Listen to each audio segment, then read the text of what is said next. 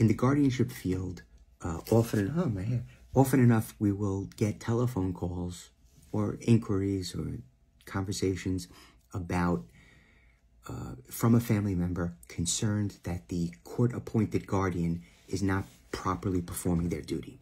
So I fielded a call from a sister of an incapacitated person. There is a guardian in place.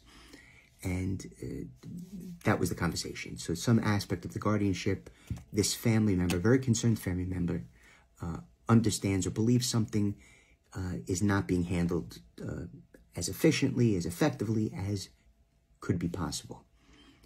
The problem with that uh, is there's an imperfect process uh, because that sibling is not the guardian and is not in charge of the care and perhaps doesn't have all of the information that the court appointed guardian does have.